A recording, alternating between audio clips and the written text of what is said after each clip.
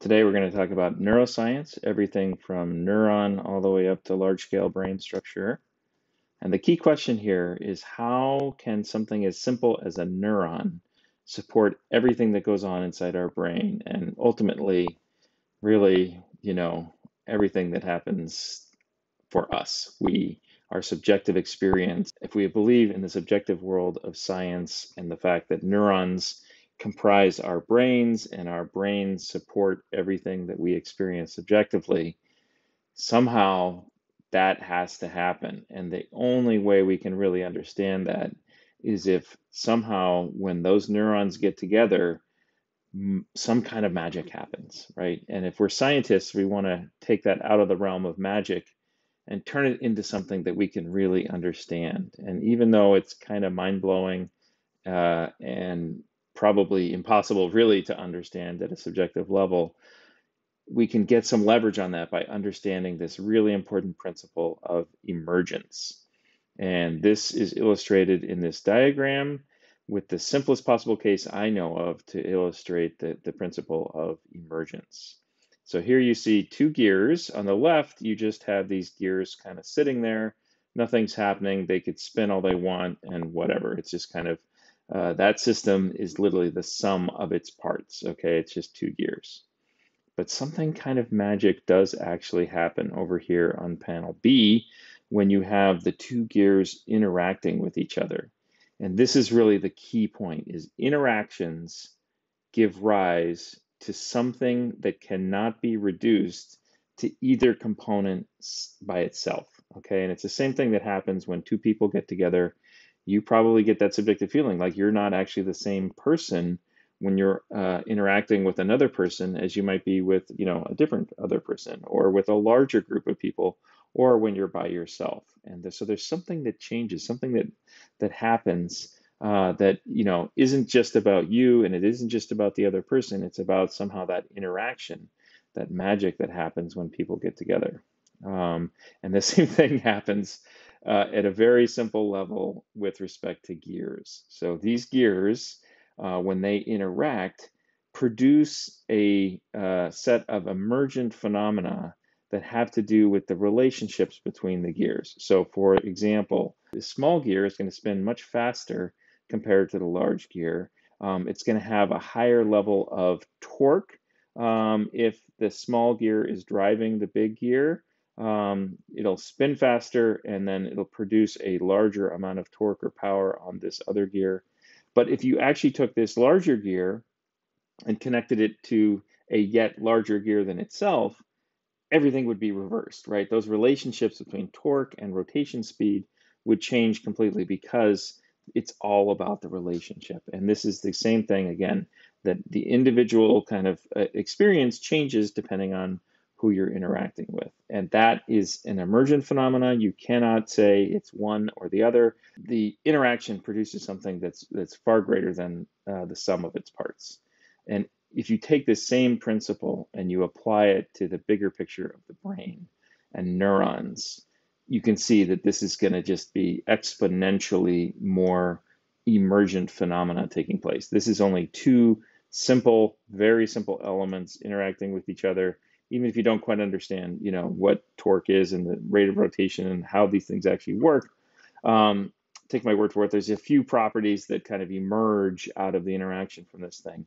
But when you have uh, a neuron receiving information from 10,000 other neurons and communicating to, again, sending those signals out to another whole population of neurons, those interactions are just so much more complicated and so rich um, that even if the neurons themselves are actually relatively simple, you can get this massive amount of emergent phenomena. And so maybe that gives you some sense of like how all the amazing complexity of our human minds can emerge out of something as simple as a neuron. So our first goal here in the in the lecture is to look at individual neurons and see how they could actually function and and produce anything at all like cognition okay and that's a real big conceptual leap but i hope you'll see that it, it actually does sort of make sense so this is a picture a drawing of an individual neuron in the uh, neocortex the main area of the brain that we're interested in You can see here uh, the cell body, which is just like the body of any other type of cell. And what makes a neuron unique is the presence of all these branching dendrites. Dendrite literally means tree. Um, and so these guys look like trees. Uh, you can kind of barely see if you focus there uh, that there are these little spines on the dendrites. And that's where the axons from other cells come in and make those synaptic connections that are the inputs to each individual neuron. We'll see that in a second. And then this neuron is sending the output through its axon, uh, sending that signal on to other neurons. So those are the principal parts of the neuron. Um, and the main thing that we can think about conceptually, functionally, for what a neuron is doing is this really simple concept of detecting. So neurons are kind of sampling all those different synaptic inputs that they're getting and they're looking for signals, things that make sense to those neurons, right? Um, and so, by analogy, it's sort of like a smoke detector sampling the air and sort of seeing is there is an is there enough smoke here to warrant me getting alarmed and saying ah there's this. There might be a fire. Uh, there's certainly some smoke. Okay? Uh, and so that's really what neurons are doing is looking for signals. And then the alarm, the signal, the, the, the thing they send is those action potentials, those spikes down their axon to other neurons. And so this is really the key concept here. Here we have a functional uh, description of a neuron on the left, and then the anatomical corresponding uh, properties of that neuron on the right.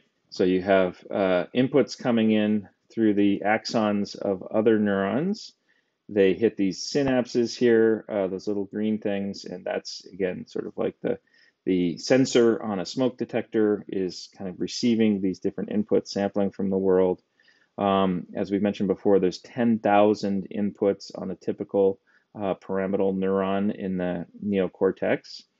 And then the cell body sort of is the place where all those signals converge um, from all those dendrites coming in uh, you have an integration process that we'll look at real quickly um, that balances the different inputs. It turns out you're not only receiving excitatory inputs, but also inhibitory inputs.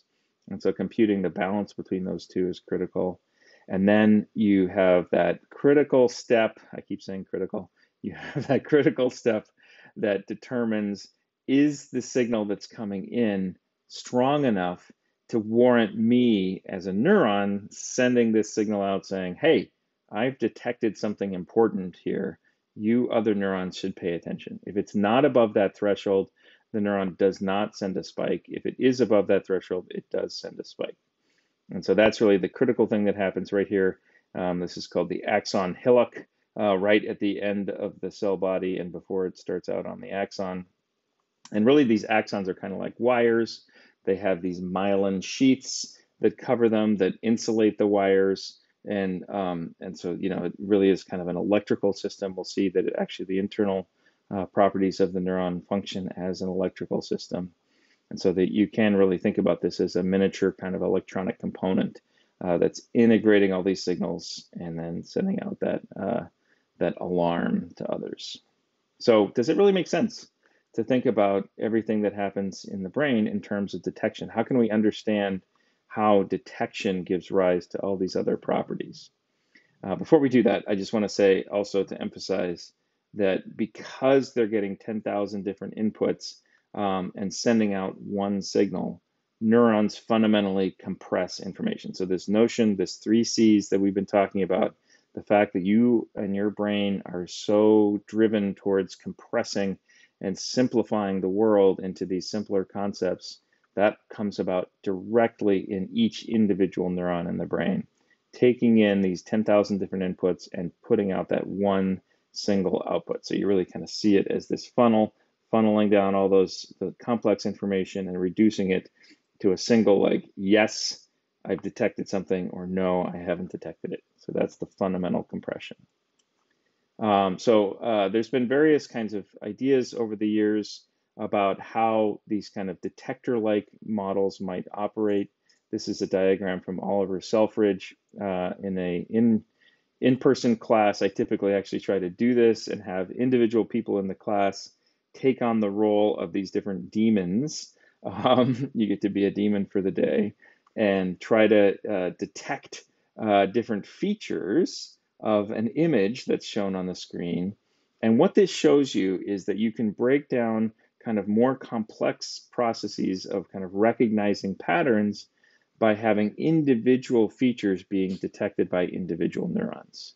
And so this is really the kind of key idea about how neurons work is they take overall very complex problems recognizing faces, for example, um, and break it down into little tiny steps where each step is a kind of micro detection, right? And so in the case of the feature demons, they're kind of saying, I sort of recognize a diagonal line going up or a horizontal line going across for this A. And so each individual feature demon is kind of encoding a single feature. Uh, but then at the next level up, you have the ability to integrate across all those different features and sort of say, oh, well, I'm getting both that kind of diagonal line up, the other diagonal line, and that horizontal. That must mean that an A is present in the input. And so then this cognitive demon can fire. Uh, and in this in-class demonstration, you just have people shouting. um, it's kind of chaos. And then the upper level beyond that is some kind of decision demon that's trying to integrate across all those signals and see who's shouting the loudest and therefore who, you know, what, what feature might actually be out there in the real world. And so uh, this kind of process of detection going up through a hierarchy is really the way we understand how the brain works. This is a, a very much how the visual system works. Um, this is now very well established.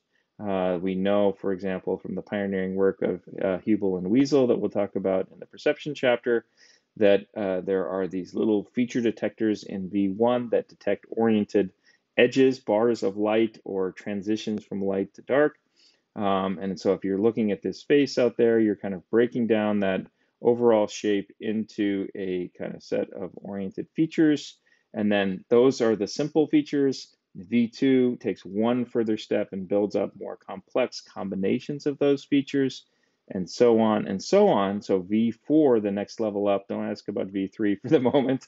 Um, it's there, but we uh, it's a slightly different area. So you get more complex combinations of those features. Again, just taking that same principle of detection and applying it over and over again as you go higher and higher up the hierarchy until, and this is the key point, at the highest levels, you have these detectors that encode really important behaviorally relevant information. And this is the the point at which you now sort of are conscious in your you know everyday life of perceiving the world. You don't perceive these little kind of line segments. You perceive, oh, you know, that's my friend Bill or whatever. You know, um, you have these high level concepts uh, encoding who you're actually seeing, right?